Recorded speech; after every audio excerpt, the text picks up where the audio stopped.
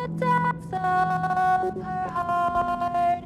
She says, please don't forget me. It's all that I ask.